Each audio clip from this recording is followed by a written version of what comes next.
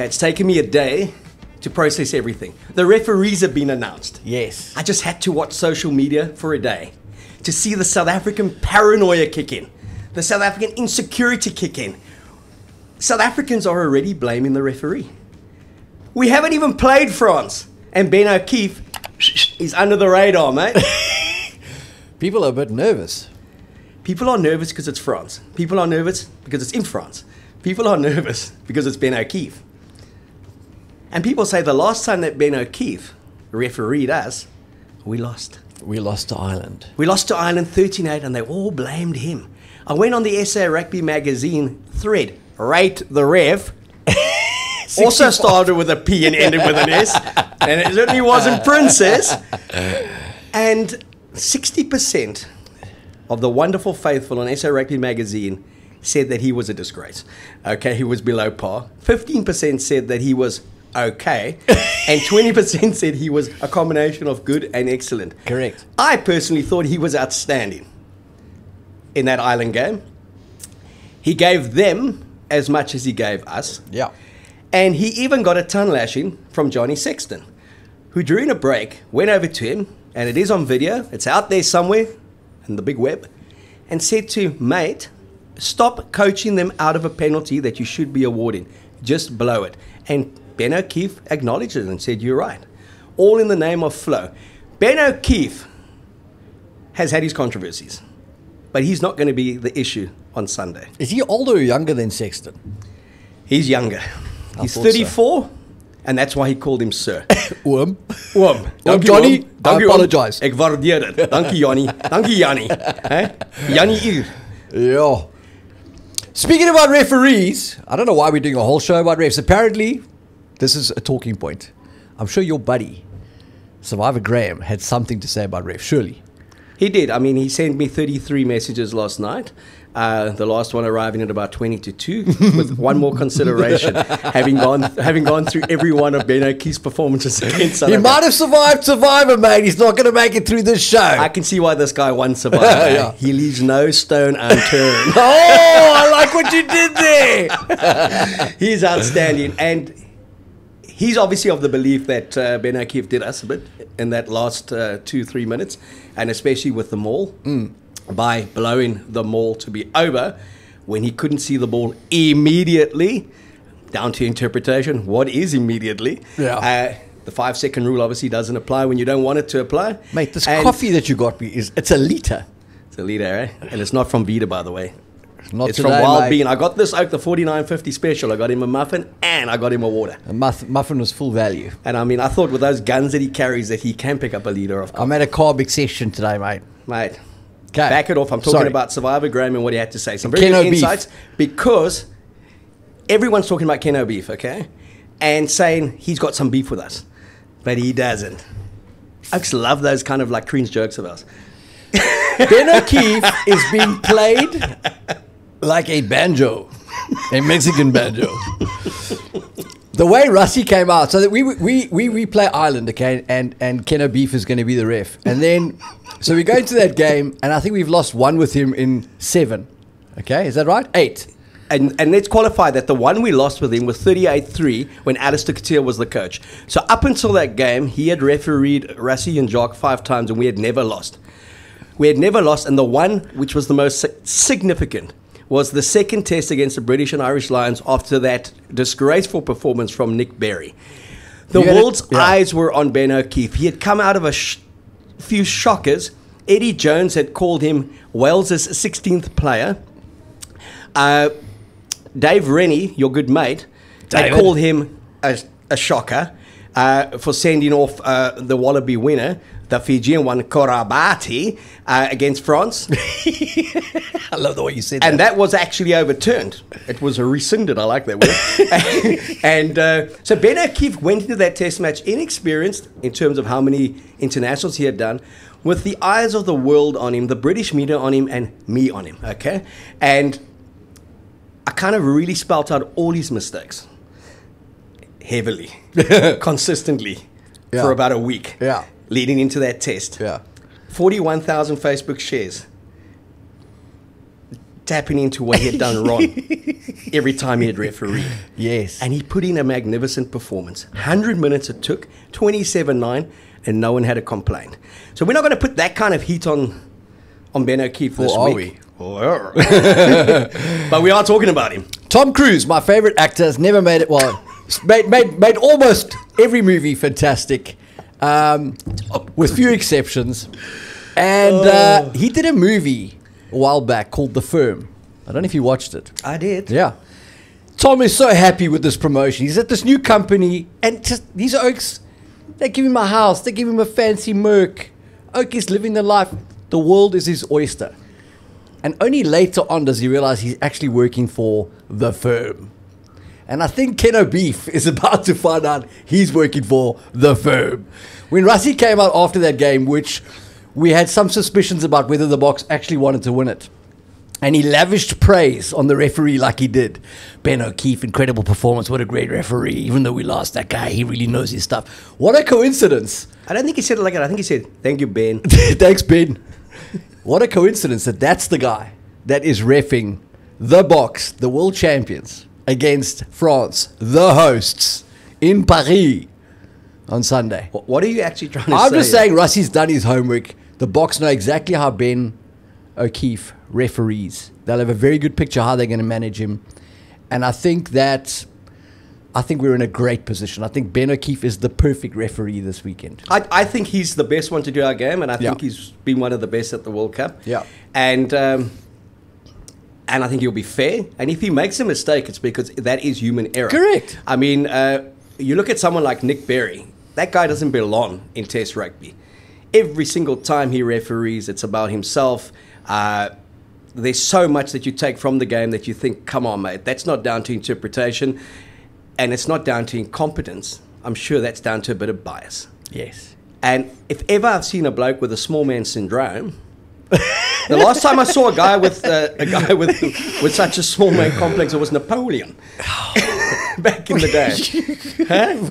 You've been writing about rugby for a long time. I know, but Nic Berry, I mean, thank God, we could have had him. Yeah. Thank God we don't have him. Yeah, yeah, yeah. And I mean Well, by we- that, thank the good Lord. well, we did have him, uh, didn't we, against Tonga? Isn't it? Yeah, but we don't have him for this. No, no, no, match. no, no, no. Didn't didn't uh, he did um, he did Ireland Scotland?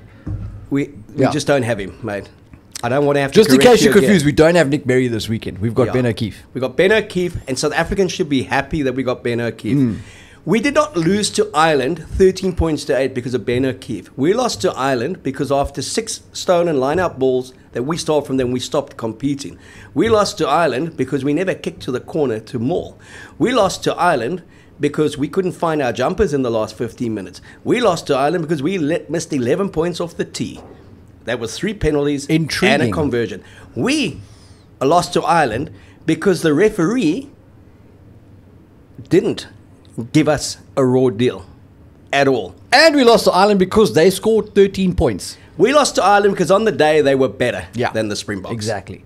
They had more points, and that's all that counts at the Mm-hmm. end. And if you think Ben O'Keeffe has anything against the Springboks, go and watch that British and Irish Lions second test. 27 9, I repeat that score, a record score. I love that game. 27 9, we won. He was fair in everything he did. He was firm, he was definitive, and he was certain. I'm just going to say something now that nobody's talking about. Okay? Nobody's talking about it. This is big. Ben O'Keeffe. B O K.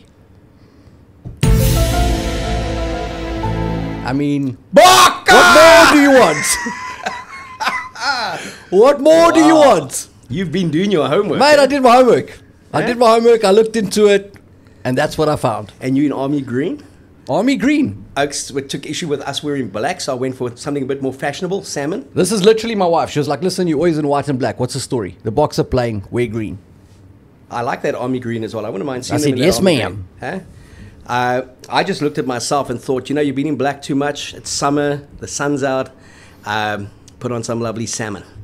Salmon, mate. You can never go wrong with salmon. Never go wrong with you appeal to everybody with salmon. Whether it's on your plate or on this physique, it makes an impression. But coming back to Ben O'Keeffe, Yes. that pass from Manie Libbok Marty to Libbok. Cheslin Kolbe. Yes. All he had to do was basically sh- throw a short pass, and we walk it in under the post, and Manie Libbok kicks the conversion, and no one talks about his goal. Kicking. Libbok does what? He then throws the elaborate Oh. 40 meter Forward pass. speculator. Everyone believes it's gone forward Well, in terms of everyone in Ireland and the neutrals. every adult. Ben O'Keeffe says, Mate, I'm happy with it. he says, His hands have gone backwards. I'm happy with it. I Yeah. don't care where it's ended. Yeah. But have a little check. I'm awarding the try. Yeah. TMO says, I'm happy with it.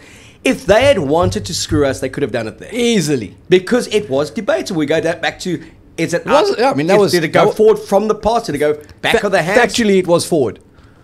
Interpretation again. Yes. And by the way, there is a great video somewhere on YouTube that Zels did about forward passes. Oh, mate, it's it a caused beaut. a lot of consternation among referees in the world. Yeah. I'm reckoning Ben O'Keeffe will do us no favors and he will do the French no favors. He will officiate that game as best he sees it. And to quote the great Sean Fitzpatrick, who was one of the best referees in the world, Brilliant. Fitzy. Fitzy used to say, when you look at our opposition, you think how many points can they score at best against us? If the answer is 32, they had to get 33 when he was with the Auckland Blues or the All Blacks. This guy's a genius. Always one point more. This guy, I mean, But Fitzy also used to say, I used to love Fitzy and his stories, that if you've got to rely on your kicker to win you the game in the 81st minute, then you should be looking at the other 14 players, not the guy who has to kick that kick. Don't ever blame him if he misses. You should have won the game before that. And finally, Fitzy said, I like that Fitzy says, if you're a good enough team, you'll always take the referee out the game. physically. You will take him out the game if you're a good enough team. Yeah. And That's a good I point. think the Boks are a good enough team to render Ben O'Keeffe number 31 on the field and not number one. And talking about taking a referee Mm. Out the game. And I hate all this paranoia and this insecurity with South African supporters when it comes to referees. Mm.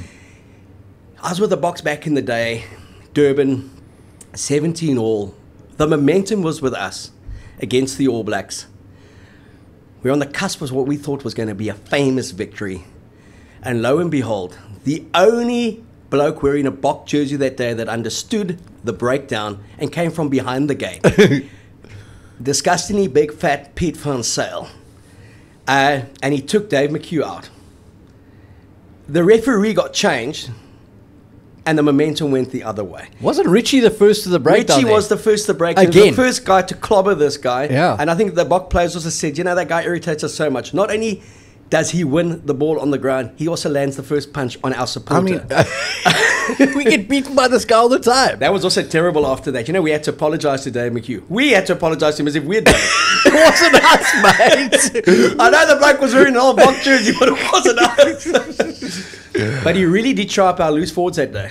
Uh, in terms of his understanding Big time. of the AJ laws. Fento was slow to Uh, react. he slow was to react. slow to react, and he was right there looking I think he was Richie. wearing gloves as well, which just adds to it. And we were staying at the Elangeni, and uh, the day McHugh was walking around there, oh, beaten up. No, he couldn't hurry. Don't happen to me. It's was he like, talking uh, with an Irish accent? uh, well, I think he was Irish, isn't he? Fair enough. Is I he think still was. I think he still is. but it's again South Africans, and uh, I, I follow that thing religiously uh, after every match, and I dig the way SA Rugby Magazine does it. Rate the ref, okay? Even when we win, it starts with a P and ends with an S. Okay? Our, our, our South African supporters just can't actually appreciate, by and large. I know there's the odd one out there that does get it. Yeah. That this person is only just officiating. And if they do make a howler, it will be shown up. There's so many cameras around. But no one's out to get us. We're a popular team. Siya Kolisi is the most popular captain in world rugby. Be popular like Al, Al Capone. And he should thank Nic Berry for showing him so much disrespect because after that, Siya gets shown all the respect in the world by referees True that. and by match officials. Rassie gets shown respect. And the one thing about this South African team and with their leadership, and that's because of their coach, Hmm. they do know the laws of the game. And they do know what comes down to interpretation. And if Hmm. you're going to intimidate a referee, calmly remind him of the law as you see it as a player or as your coach sees it. Hmm.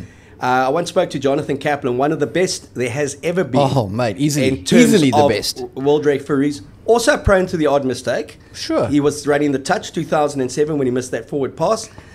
Uh, but I asked him one day, do you guys give Richie McCaw kind of latitude? Do you give him favors? Is it because he's the All Blacks captain? And he said the thing about Richie McCaw is he had never met a player that knows the laws so well.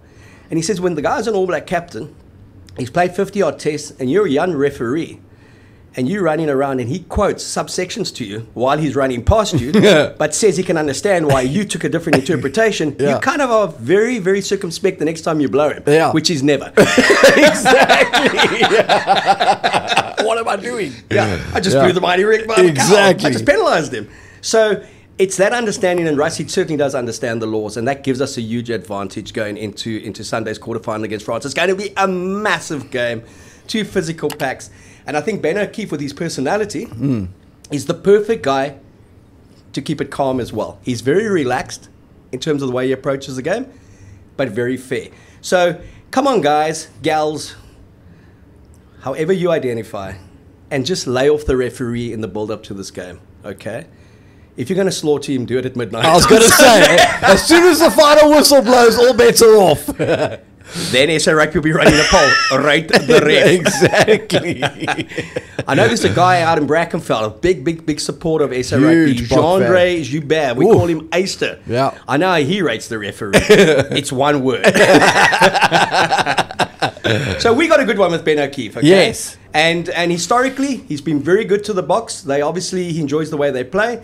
The only defeat under Rassie and Jacques, and we keep on reinforcing this, was the one in the World Cup, 13-8. It certainly wasn't down to him. And that last one where he did say he can't see the ball, uh, strictly speaking, he's correct in the way he applied it. On another day, he may have applied it a bit differently, but the Boks didn't seem too shattered either. No, not at all. That he went Ireland's way. Ireland were euphoric.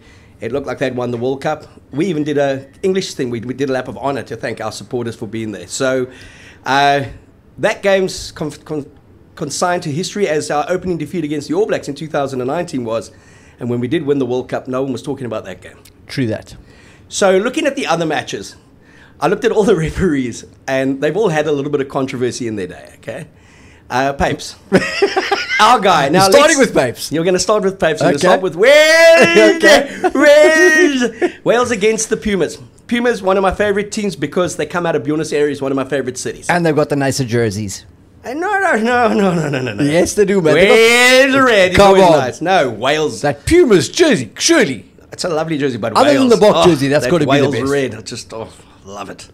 That rich, rich Welsh Does red. it remind you of Liverpool, mate? No, mate, not at all. It reminds me of Wales. okay.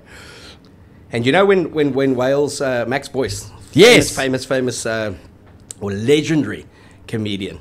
Whenever they used to lose to the All Blacks, which was every year, and he would always take great comfort from. At least we had a nice jersey. he would also say they kept their side of the field very tight. Oh, I love that. Yeah. So uh, Wales, and you know the history between World Cups, Wales, and Peyper. No. So in 2019, Wales played France Okay. in a quarterfinal that Wales won 2019. But they scored 10 points when uh, Peyper sent off Remember the that. And I can't pronounce his name, uh, uh, Locke, that Yes. plays for France. Yes. And the whole momentum of the game swung. Yes. The game ended later on in Japan. Great festivities. The drink is flowing. Yeah. Papes is a wonderful guy. Fantastic referee, but I mean he's a he's a. He likes to guard and he likes to have a chaos. Yes. He finds himself with about 30 odd Welsh supporters. Coincidentally. Coincidentally, okay? He then mimics with them, elbow to the face, send off, okay? and the picture goes viral, okay? that picture you've seen on your screen now goes viral. World Rugby suspends Papes for the rest of the World Cup and punishes him for uh, deemed bias. And he doesn't referee again in the World Cup. Now he's back. Who's He's back in a Who's he quarterfinal. riffing this week? back in a quarterfinal. And he's referee Wales. Sorry, Pumas. So I rest my case. Yeah. It's it's it's hasta la vista. It's bye bye, and it's uh, the Pumas are going to have to play very well to take this referee out the game. Extremely well. Ah, Nick Mallett's back. Maybe No. I, uh, yeah, I mean, I can't, I can't disagree with you there. I think Wales are obviously the team, uh, they're the favourites of the bookies team. Uh, Argentina have been diabolical, very disappointing. Uh, lost arguably their best forward for this match. And they just need to go home now because nothing's actually happening. They're just wasting everyone's time now. You've turned on Shake, eh? I have, I've turned on Mike. I thought He'll I- be back in Australia coaching the Wallabies when Eddie takes the Japan job. the Warren eyes. No, so anyway, I think you're right. Wales, Papes, Papes uh, for Wales. Yeah, Papes has been good. I, I think Papes is a great uh, a great referee, and uh, Jake doesn't always think so. Jake White. It's a wonderful story that when Jake was coaching the Brumbies and Papes was refereeing against uh, uh, Solly's Kings in, in Canberra, they got the 28 all draw. Uh, they scored in the 83rd minute. Uh, Catrakilis, Dimitri Catrakilis kicked the conversion. And at 28 20 at the Bruce Stadium, Jake starts walking down. He's basically, the game's over. It's 80 minutes. Although Papes has played into, I think they're about 34th phase at this stage. Okay? He's walking the Kings to the trial. it's just advantage after advantage after advantage. And um, and for those who kind of don't believe me, that it's somewhere there. If you if you go and pull out that match tape, it's there. Um, and much to Jake's disgust, as the Kings score to basically level the game up because the kick under the post is not going to be missed. Papes hops in the air with jubilation as he the launches try. and that really irked Jake. He's never forgotten it. Never forgotten it, yeah. So- Classic. but I enjoy Jaco Peyper, and I think uh, Great ref. as great as it is that the boxer in the quarterfinal, kudos to South Africa's top referee, Yeah. Jaco Peyper. He's refereeing a quarterfinal. Uh, and, you know, I, I, I, he's consistently been for me in the top three, four referees in the world. Yeah. And on his day, as good as anyone else that has refereed the game. And a really cool guy as well off the field. Referee with a personality. I mean, that's hard to get. Mm. Very hard to find in rugby, mate. Eh? Very hard to find, mate. Uh, talking about referees with personalities, you know, one, one of the big referees that I enjoyed was uh, was Nick Mallett because he coached me at school and he used to referee at some of our games as well. and I was playing in the A team, and then he dropped me. What, what year are we talking about? Ah, this is uh, we're talking the early '80s, okay? and what? So what was Nick at that time? Nick was uh, had to do his practical at school. He was a, he was a geography, physics teacher, English teacher, and that. And uh, he was playing for Province, and uh, I was at Fairmont High in, in Durbanville, and under 59 side was the worst in the in the school. We were useless, okay. And so the first he came for six months, and the, the principal wanted him to coach the first team. He said, "No, what's the worst team in your school? The under 59s." Well, that was us. So he he took us, and. We uh, he saw us playing a bit of touch that day, and I was playing fly off, and I was the vice captain for the under under 15As, and he picked a B team to play Wynberg C team um, the following Tuesday, and he picked me to play at inside centre. And I was trying to tell him, but I was I was the I'm the I'm the A I- I captain. didn't. He says you were. You were. That's Nick. eh? You were. And I was the vice captain. You were. So I, I gathered I was X as the fluff and uh, and as the uh, vice captain. And we played Wynberg, and I think we lost something like 35 25. And, and we got 25 thanks to Nick, okay? Okay. The, the, just the, the presence of Nick Mallett, Yeah. okay? And uh, he was a wonderful coach. And I was playing inside center, and he would, every time they would get the ball, he would scream to their 12, run at 12, he doesn't want to tackle. And I'd look at him run at 12, he doesn't want to tackle. And Nowhere to hide. hit 12, he doesn't like to be hit. So was he refing the game He's as well? reffing the game. So he's your coach. He's refing and he's telling them yeah, who to he's coaching both sides. Okay, he What was a just beauty. he was just wonderful, and uh, and the story there is that we uh, we ended up we had never won a game. We ended up uh, losing our first game in charge against Settlers in our derby. Uh, the province that day lost 18-9 to uh, to Robbie Blair's Transvaal, five penalties in the drop goal. Nick came there on the Monday, said to us, "I believe you lost to your neighbours, uh, your rivals, is a disgrace."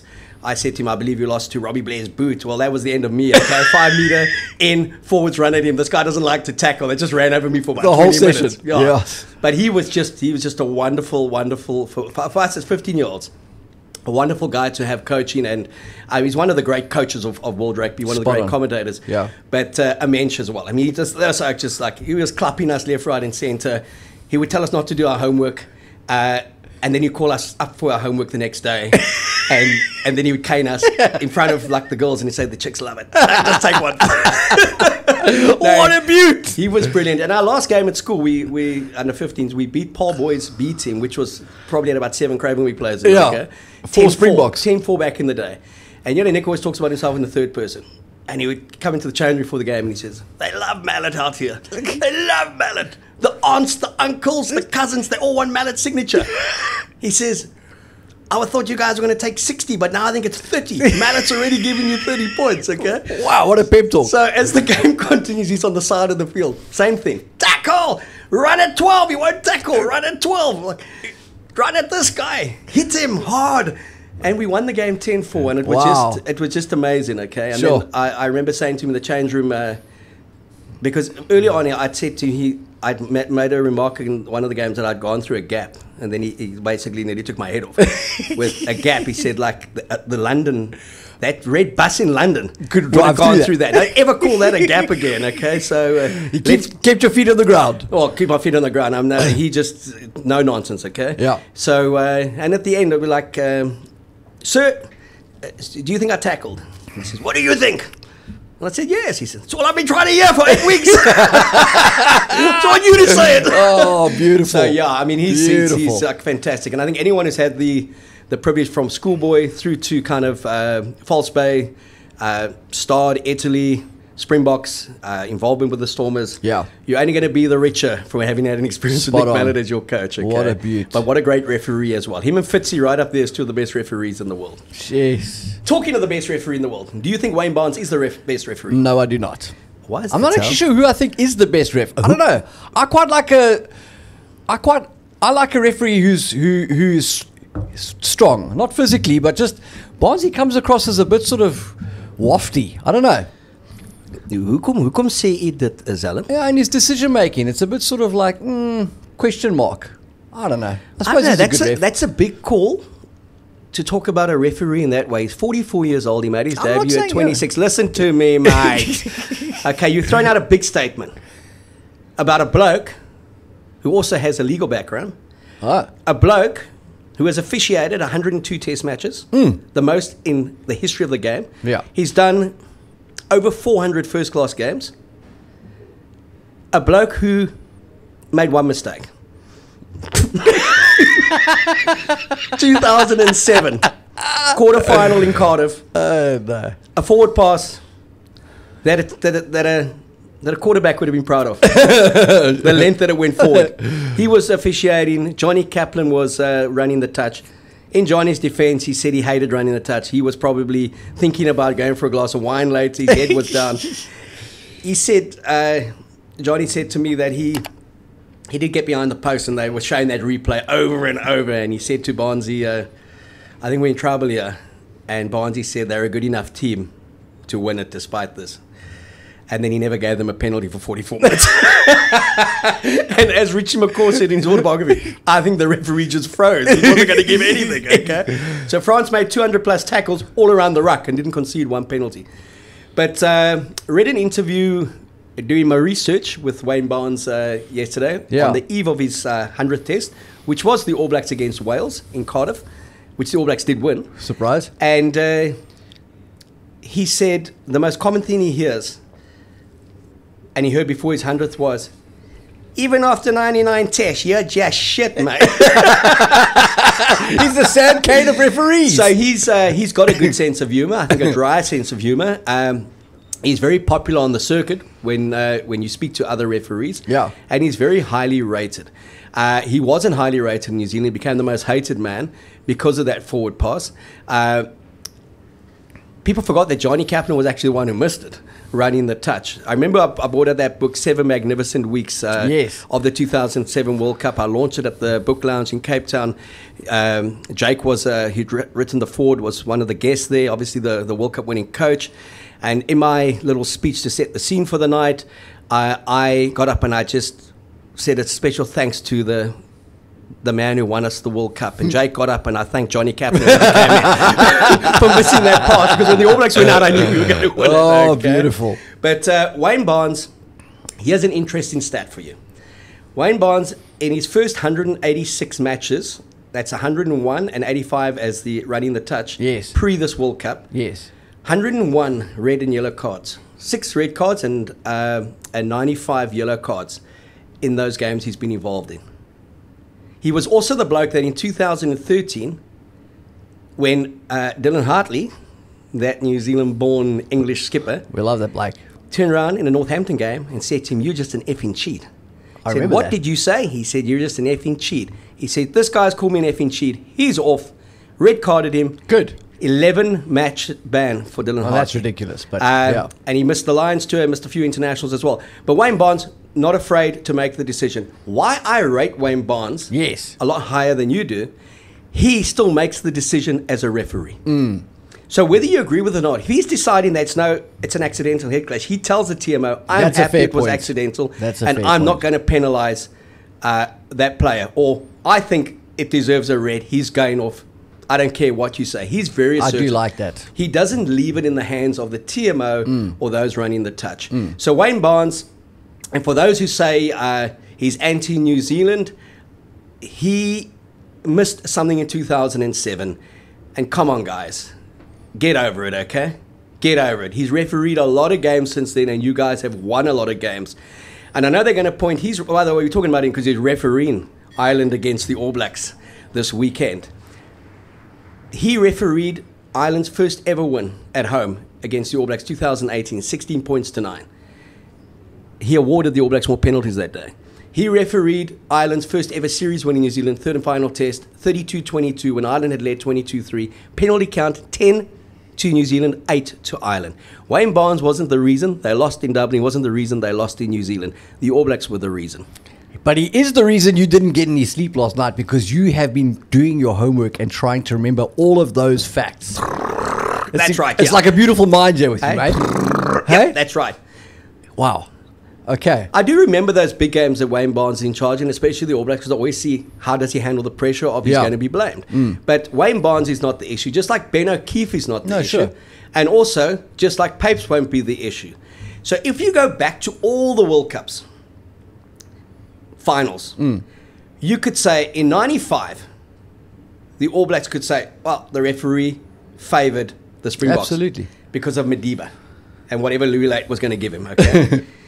in 99, there was no debate because the Australians smashed France 35 12. The great Owen Finegan try, which is not talking about, spoken about enough uh, ever in terms of World Cup final tries. Uh, went all of 30 metres with a few Frenchmen on his back and scored. Um, commentator kept on screaming, Go for it! Just go for it! And he did. Then we go to 2003 the English fans saying Andre Watson kept Australia in the game for 100 minutes by the way he officiated the set piece, okay? Then we go 2007. Nothing in it because Rolland was outstanding in the final. 2011. Nothing in it in the semi final against Australia. The French say Craig Joubert kept them out and kept New Zealand in the final. The only critique there, Bryce Lawrence, who completely destroyed it uh, in the quarterfinal, lost the plot with us and never refereed again. 2015. No issues in the semi-final or the final. Better team won. 2019. No issues in the two semi-finals or the final. Better team won. Referees have never been an issue as such. No World Cup final has been decided because of shocking refereeing. The better team has just won on the day. Yeah, look, I think referees have a massive influence on the game, but there's nothing that stops a team from adapting to a referee. And that's why preparation is so key, and I think that's why Rassie is such a such a genius in what he does in terms of he was ahead of the game in terms of analyzing refs, their trends, their tendencies. He's been doing that for more than a decade. So if a referee comes out and he's going to be blowing the breakdown in a way that completely does not suit your team, you have to have the ability to adapt to that and adapt how you're going to control the breakdown or how you're going to get around that to take the referee out of the game. If you keep playing to that, if the referee's blowing, blowing you every time you have an attacking breakdown and you have 150 attacking breakdowns, that you are your own worst enemy. You've put the referee in a position to decide that game. I don't think for a second that referees go out uh, to create a result. I think referees ref how they're going to ref, and the way that they ref may suit a team better. And if you don't adapt to it, you come off second best. So that's going to apply this weekend, regardless of how good the referee is, how experienced he is. He's got an idea of how he's going to ref the game, the nature of the game. Um, makes itself vulnerable to those grey areas and how a person interprets things. And so you have to be savvy in rugby, especially at the professional level, to be able to adapt to those trends so that you don't get you don't get sanctioned. So, I mean, and coaches study referees as much as they do the opponent. Um, and each referee has a different style. Big time. And so much is down to interpretation. So we do get the odd shocker in terms of how did the guy miss that. Uh, but you get some referees that just a basic ball that drops down. Some will say that's a knock on, some will say play on. Hmm. It didn't go uh, forwards, it didn't go backwards, it just went straight down. Uh, and I think that's the frustrating part. Heyneke Meyer once said to me that you can never really argue with a referee because of the complex nature of the of the laws and then the freedom that they have to interpret those laws. Correct. That if he turned, if a referee turned around, he said at Loftus and looked at the grandstand and blew a whistle and gave the opposition a penalty, You could justify it. he would find he would find something in the law book that would would show him to be correct. Absolutely. So, uh, So just while we're on this point now, given that we both agree that that's a reality, there's no point in having a TMO and replays because we both just admitted it's impossible to ref rugby according to the letter of the law 100% because in any situation you could find something to award to or against any team. completely. And then uh, the biggest bugbear that I have is TMO should only be there for out and out foul play Spot and, on. and a real shocker. Like that ball went forward by two miles or he dropped the ball. Uh, you know, we revisit it to get the right decision. Yeah, the- the TMO should be there to get the right decision, not to betray uh, a decision, on-field decision, or to cause more controversy around it. Because if you slow down every ball Exactly. in super slow motion, looks like the try scorer has lost the ball every time. Exactly. I'm all for the foul play, and I'm all for where referee is not cited and he didn't see, he wants to know. He can call on the TMO. Anything outside of that for me is farcical. Give the game back to the referee. Spot on. Allow that referee to be in charge, allow that referee to make as many human mistakes as any player does. Correct. And it does balance itself out. Correct. And any referee who's corrupt, who's biased, who has an agenda will be found out. 100%. And won't be refereeing at that level ever again. I agree. So, uh, World Rugby really has to rethink the way they protect referees because they're not protecting them with more technology. They're putting them in the spotlight more than ever before. And they're depowering them because the weaker referee just goes, "I'm not making a decision at Let all." Marius make the call. Yeah, or and then you've got some TMO who referees the game from a box, and he's Yeah. in that guy's ear all the time. He's got 15 different camera angles, and he's not going with the flow of the game. He's Yeah. going back three, four phases and looking something four, or five times. Yeah. it is a contact sport. There are going to be mistakes. I Yeah. mean, the interpretation, as we keep on saying, accidental head clash gets a red card. Uh, every time a guy picks up and drives close to the, the try line, his head hits another player's head. Yeah. It's never even picked up. Yeah. We've missed one guy, the last one, and I think he's the best one. You just told me Wayne Barnes is the best. He's the best in the world, but Mate, of the four, mate. of the four, I like his approach to the game the most. Our Frenchman. He's my favorite. Give me his name. Matthew Reynolds. Give it to me with a raw. There's no other way to say it than that. Matteo Reynolds. What do you like about him? I like him. I like the way he walks. I like the way he talks. I like the way he blows his whistle. I love his calm, eh? And it could be that His car? He's calm. Oh. I don't know what he drives, mate. What is it? I did my research. A. Peugeot. a Citroen. I like his calm. One of those because- old ones with the hydraulics. because and it could be because he's officiating in um, he's officiating in um, In France. in English, but Oh. he's thinking in French. You And- know what he's thinking in. yeah, I like that. And the guys are screaming around him, and he's wait, wait, wait, wait, wait, and he's calming them all down. The Australians, especially, he says, "Wait, wait." Scrum black. I love that guy. I, I, that's exactly and why he I like went him. through in that third and final test as well. British and Irish Lions against the Springboks. There were so many decisions that he could have given against the Springboks if he hadn't been uh, as strong mentally, was kind of as certain in the way he officiates games. Yeah. and uh, just you could have sent Jasper Wiese off just before halftime. Most would have seen Jasper straight back to England. Exactly. the way he came roaring into that Straight breakdown and Sing Sing. decapitated four Lions players. Yeah. He looked at the, the, the TMO, said it's definitely off. The TMO said this, and he said, "Nah, there's contact."